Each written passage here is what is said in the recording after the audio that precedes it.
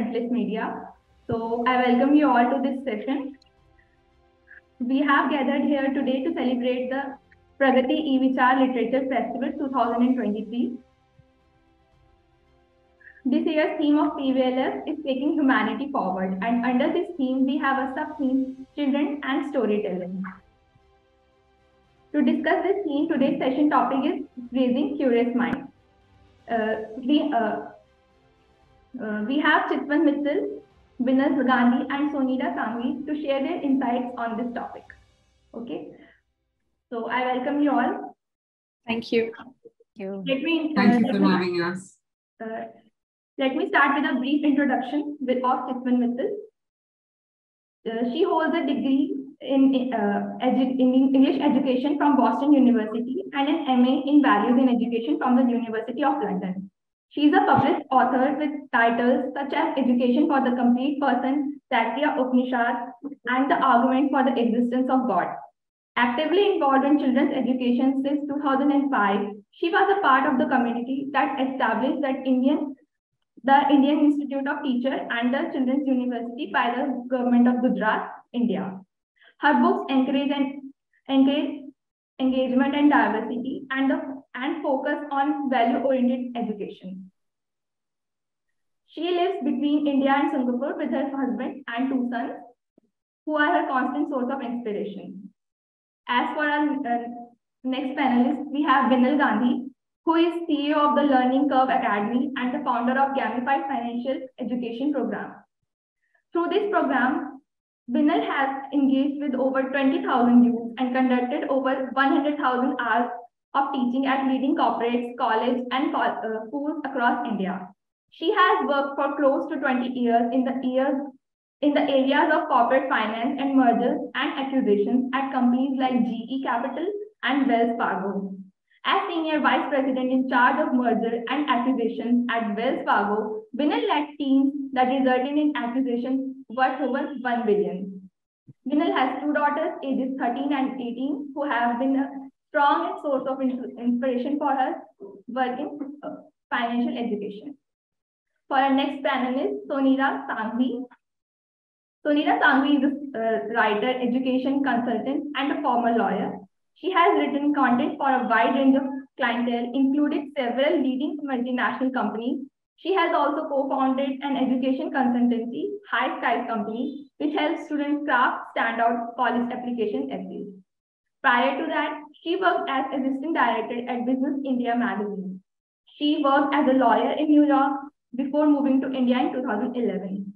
She's a mom of two kids, aged 3 and 7. So let us begin with our session. Uh, I have first question for uh, Chitwan Mittal.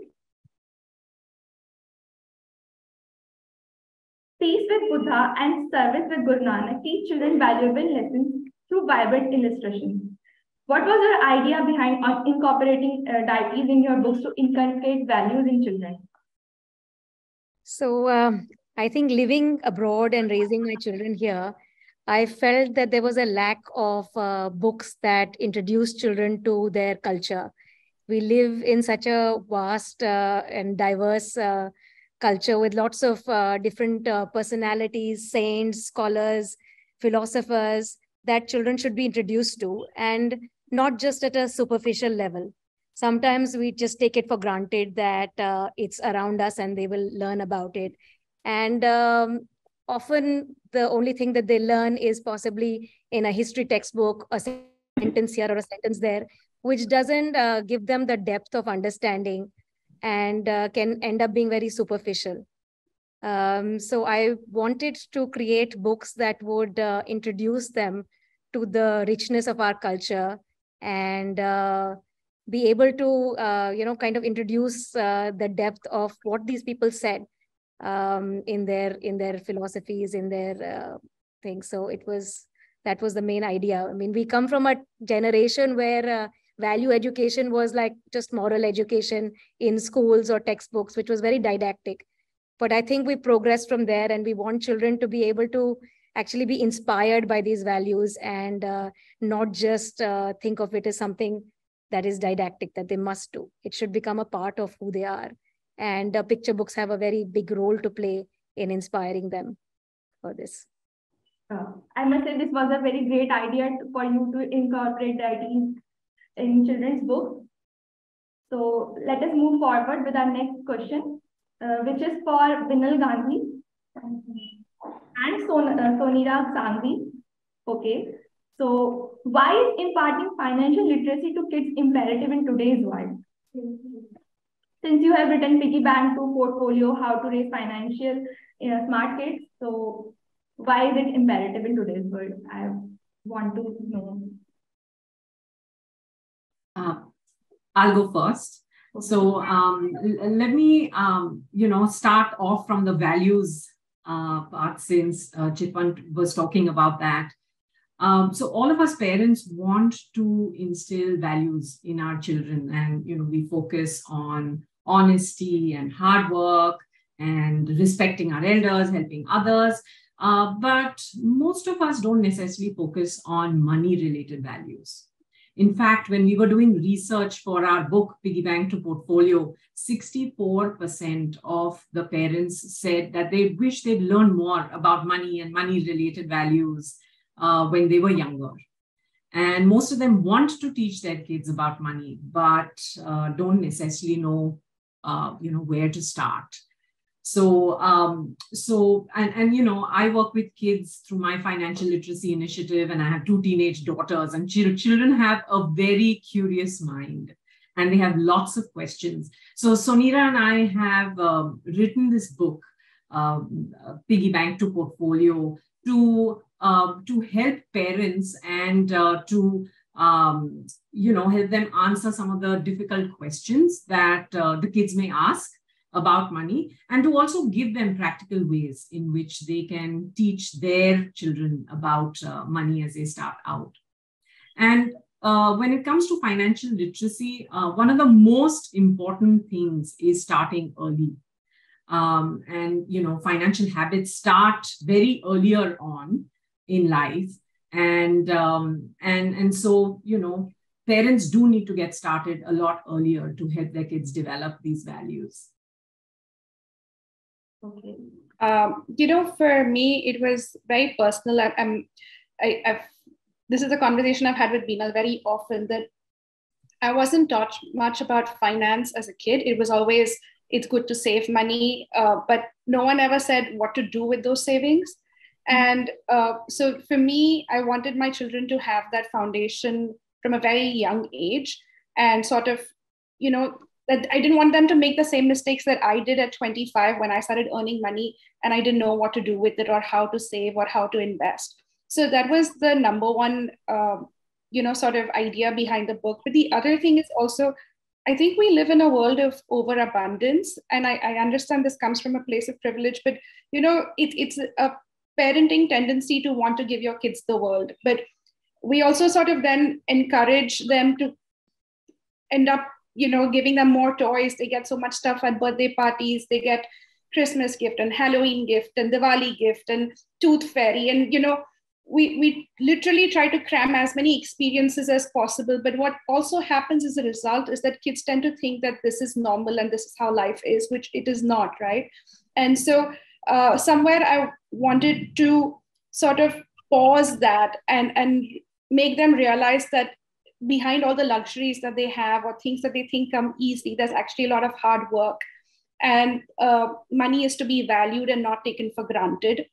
So th- those were pretty much the, the two biggest considerations behind the book. Okay. Uh, so let us move forward with our next question, which is for all of you.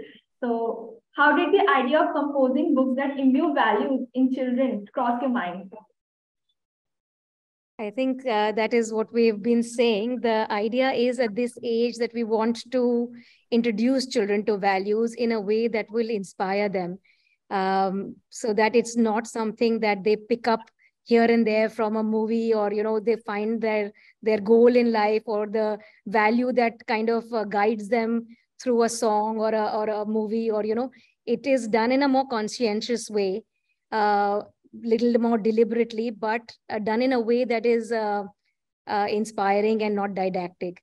So if we can have more publishers creating books that will be, whether it is to teach uh, value about uh, finances or values about, you know, just universal values that are like peace or kindness or service.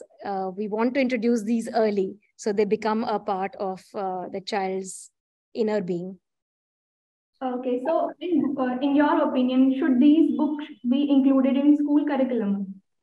Uh, for me, I mean, the kind of books I am creating, picture books, I don't think it should be part of the curriculum in the sense that they should be tested upon or that the child should be made to memorize. It kind of uh, takes away from what we are trying to do. But definitely, they should be part of children's life, the school libraries. They should be part of book fairs and book festivals. They should be used in classrooms by teachers just as storytelling and uh, just in circle time to spark conversations uh, between the teachers and children uh, at bedtime uh, with parents. A lot of parents have come back and said, you know, these books have managed to start a conversation on how can we be kind. Let's think of ways and uh, and uh, means by which you can be kind in your daily lives. So we want them to be something which is more spontaneous and natural. Uh, definitely this is something that should be part of a curriculum in a more uh, subtle way not in the way that you know this year we're going to teach kindness and and then let's test how kind the children are. That is not something that uh, we uh, would advocate okay I, I think financial literacy should definitely be part of uh, the school curriculums and i think a lot of schools are uh, doing quite a bit to get there but, uh, but financial literacy is not just about knowledge. It's also about values, it's about habits. Um, and the reality is, parents play a very big part when it comes to inculcating some of these values as well as instilling some of these habits. So, um, so for financial literacy, you know, it needs to be done in partnership between the schools uh, as well as, you know, with the parents. So, do you think that financial literacy helps in uh, the overall development of a child? Absolutely. I mean, uh, you know, there's a Dunedin study. It's a very famous study that uh, you know it, it, tracks kids from when they were very young, about six, seven years old, up until their forties, and uh, you know, it's it shows that kids who are able to delay gratification, who are able to resist, uh, you know, a piece of candy that's in front of them, actually uh, do much better later on in life because uh, those things, those traits such as discipline, delayed gratification, is what affects their ability later on in life to save, to invest, to compartmentalize decisions. These are the kids who, in their 40s, had uh, managed to save up for a house, had saved up for retirement. So you know parents focus on so many things when the kids are younger such as education or exposure or manners or even religion you know. But for some reason they put off conversations about money until the kids are 16 18 20 the truth is that money uh, saving and money forming habits actually start or develop in a child by the age of seven because the qualities such as discipline and delayed gratification are already developed in a child by age seven. So then to start it at age 16 or 18, those uh, personality uh, of that child has already formed to a large extent. And that's not to say that it won't matter that, you know, once you've not done it at seven, you shouldn't do it at 18. But all I'm trying to say is that if you start early, then that significantly affects their money related behavior later on in life.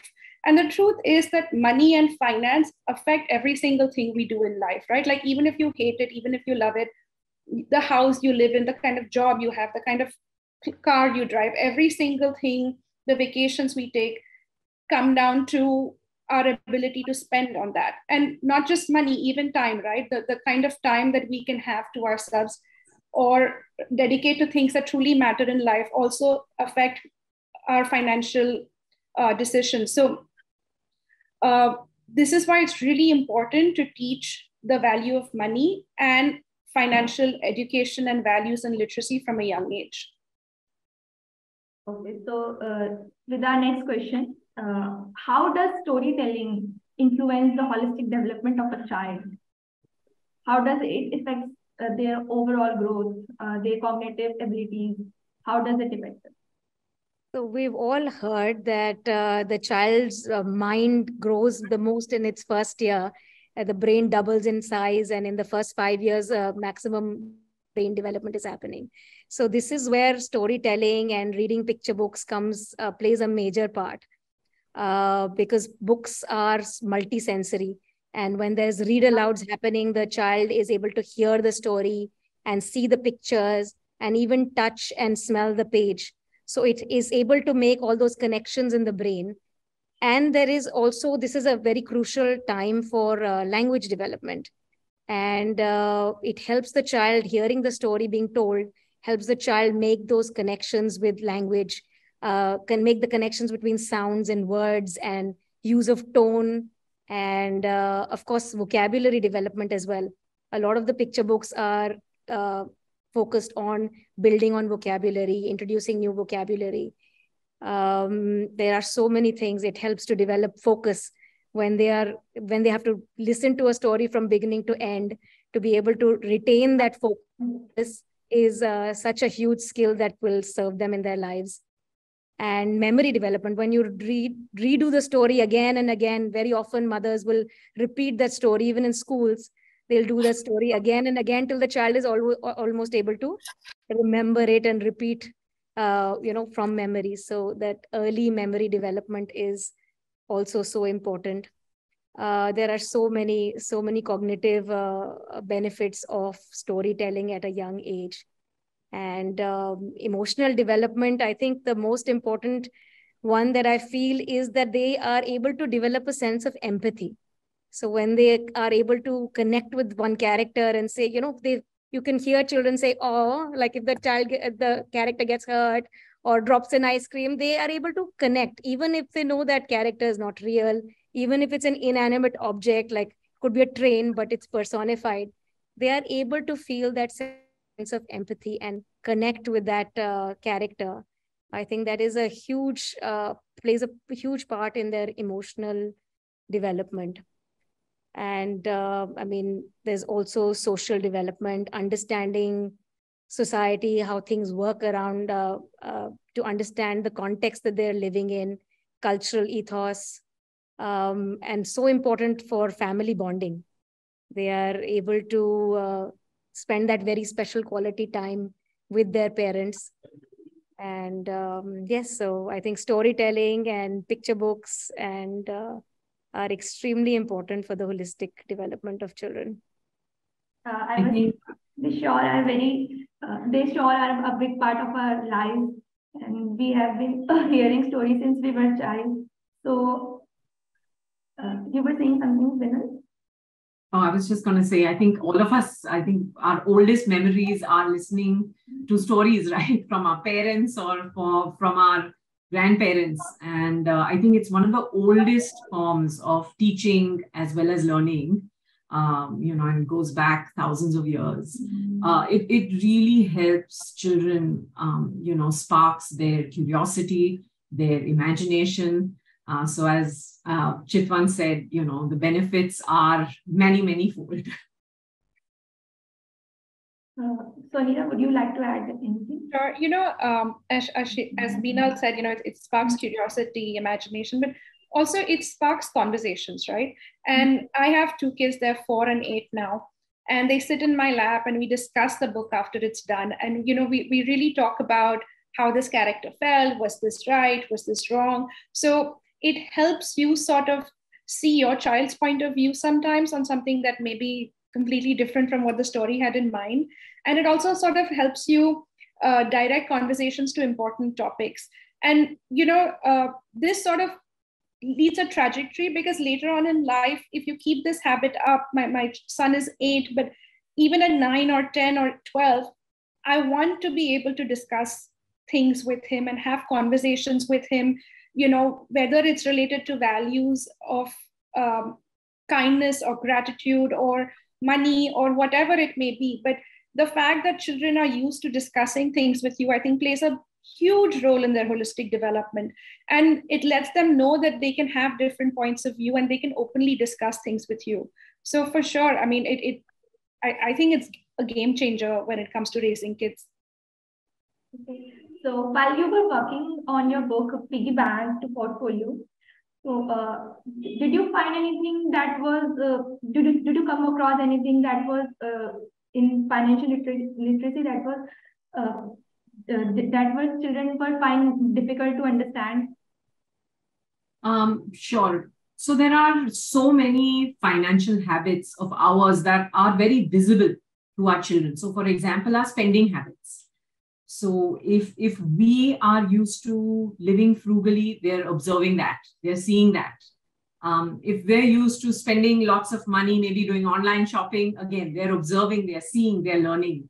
But there are many of our other financial habits that they don't necessarily see, like saving money like investing money it, it's it's not that you know we open our passbook and you know show our passbook to them on a regular basis or or you know discuss our investment account with them on a regular basis um, but uh, you know these are some of the things certainly in age appropriate way that parents could do uh, with their children uh, as their understanding grows so that various aspects of financial literacy are visible to the children, not just certain habits um, and, and not the others. Um, one of the things that uh, I've seen is, uh, is very difficult for children to grasp, and frankly, difficult for adults to grasp, is, uh, is the power of compounding. And uh, you know, all of us in school have learned about simple interest, mm-hmm. and we've learned about compound interest. Um, but what we don't understand is that small amounts of money when set aside over a longer period of time uh, does not just multiply, but it grows exponentially. Uh, and the growth is mind boggling. Um, and, and, you know, that's a concept that is very difficult for children and, and as I mentioned, even many adults to grasp. And uh, in the book, we do suggest some ways uh, that parents can help their children understand this power of compounding, um, you know, over time. Another thing, um, in fact, in um, every finance gym class that I take, there'll always be one student who will come and say, ma'am, can you um, give us an investment where I can double my money uh, very quickly? Mm-hmm. Uh, so the whole concept of understanding risk uh, that are associated with investments uh, are, are a little difficult for children to understand. But as they go along, as they grow, they do, um, you know, they do learn, maybe sometimes by burning their fingers, but certainly parents can use uh, certain um, certain games to explain them the concept of risk uh, and also use some practical examples um, and involve them in certain household activities so that they understand these concepts slowly and surely over time. Uh, Sonia, what's your take on this? Um, I mean, I have two very young kids, so my questions usually revolve around why do we have to save? Uh, you know, if I say something is very expensive, my daughter will be like, "But I have three piggy banks full of money." So, uh, you know, the, the, the concepts are very different for me at, at a younger age. But for that, I mean, I, I think the hardest for me that we've dealt with is um, why is that man poor? You know, are we rich? And uh, you know one of the, the one of the biggest things to understand when kids are asking you such questions is not that they really want to know how much money we have because you know kids don't understand or grasp those those concepts yet. But it's also about sparking deeper conversations like why do you want to know? Uh, you know is there a is there someone talking about money around you? Like do you is it are you asking me because you feel like we don't have enough money? Where is this insecurity coming from? So uh, I think when it comes to younger kids, the important thing is not to focus on the hard concepts, but also kind of figure out the, the next step, which is why are they asking these questions and sort of take it from there and, and you know, sort of figure out what is uh, the underlying issue that's bugging them. Is it peer pressure? Is it something that they saw online? Uh, you know, is it because they feel like their self worth is connected to money and uh, sort of take it from there and, and explain it like that. Uh, sure is a wide concept, uh, concept to for kids to grasp. So let us move forward. And I want to ask that, uh, sorry. uh, what are the what are uh, what are some uh, some innovative approaches that we can uh, introduce to kids that can ignite their curiosity? I think for me, the main thing is we need to change our approach to teaching and learning. Before, the main thing that a teacher was supposed to do was provide information to the child. And th- that was the main role. But now the child and the parent has various sources of information. And the main role, the teacher has to shift that mindset that the main role is actually to spark that curiosity. So if the child is uh, curious about something, if you manage to excite them and ignite that spark, then that roads to learning are open and there's many, many ways to uh, take it. You'll see all of these uh, great teaching learning movies, such as, let's say, Dead Poet Society. What does the teacher do first? He, why does he climb on top of a desk and like read out a poem? He could just you know stand there and read out a poem the idea is to get the kids excited about poetry you know do something dramatic uh, open a different point of view that they might not have thought about before so the main thing is that the teacher should think of their role differently and uh, try and do whatever they can to ignite that curiosity uh, how can we at home can uh, help children uh, get curious about things about their surroundings how what role can we play in that I think we have so much access to materials these days. Uh, we shouldn't shun technology. I mean, I also have two young children, and a lot of times uh, to get children into something, there are such good movies, TV shows, uh, books. Um, so we should use all the teaching learning materials that we have out there to, and whether there's, there's so many games that you know, if, if even if it's financial literacy, there are so many games you can play uh, to excite them about it as opposed to just trying to teach them something that you've decided is important uh, the idea is should be to try and excite them about that topic. And then once there that happens they, they will want to learn more. And if the child is older they can even take that learning forward on their own uh, through you know internet searches or books and libraries. But i think parents and teachers should really see their role as finding tools that will just inspire the child in whatever direction you think is important or you want to focus on. I, I think um, to add to that, dinner table conversations are extremely important. And sometimes it's not possible for families to do that, but setting aside that time, just um, talking about you know books, movies, uh, current topics, um, and getting their perspective uh, and understanding them. I think that uh, really helps them, uh, our kids, you know, with their curiosity, but also helps them raise uh, awareness. Mm-hmm. Um, and, you know, another thing, uh, I think Benjamin Franklin said this, but um, he said, Tell me and I will forget, teach me and I may remember, but in, involve me and I will learn. And um, I think it's it's really important for uh, parents as well as teachers, frankly, um, to involve the kids, give them a lot of hands-on activities that they can do, so that you know these are uh, lessons that will stay with them lifelong.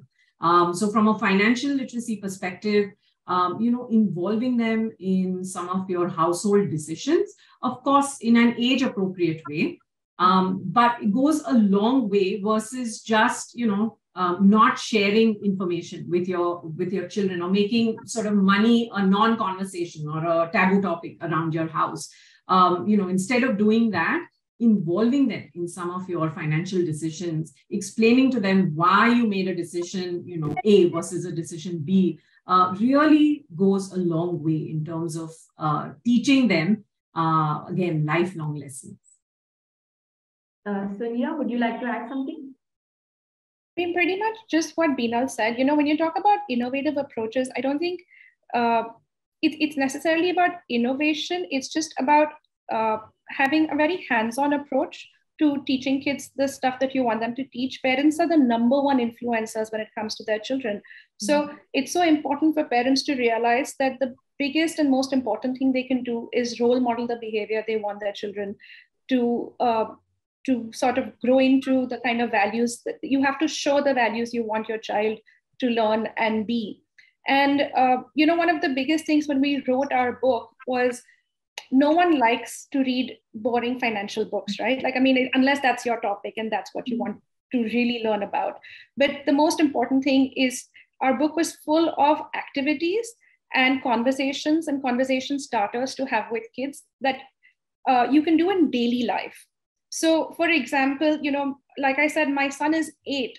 If I tell him saving is great, uh, you know, you should save, you know, it's important, he'll say yes, yes. But what I also do is I end up taking him with me to Sahakari Bhandar and we're buying shampoo. And I'll tell him that I'm buying the one that has the conditioner free because that's a better deal. And it's a really small thing. It's not anything super innovative, but it's an approach to teaching your kids through your everyday life without it being boring. It's, it's just a routine thing that you're doing, but you're involving your kid and somehow telling him that I value money, this is important, and this is a way to save. Or, uh, you know, even something as simple as, uh, like I said, you know, earlier, there there was the tooth fairy, and, you know, when my son's tooth fell out, what I did was I gave him 200 rupees, but I gave him 50 rupees extra. And there was a note from the tooth fairy saying, Can you pass this along to someone who needs it?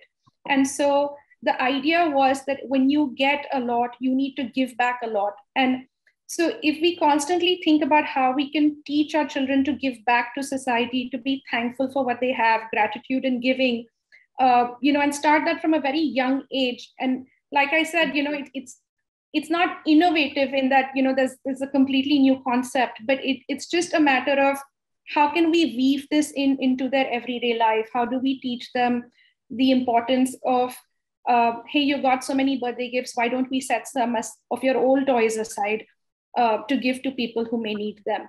So just constantly reinforcing these conversations in everyday activities is i think the best way to do it. Oh, okay, so uh, so thank you so much for all for joining us for this session, and uh, let's uh, wrap this. So, thank you for, for having us here.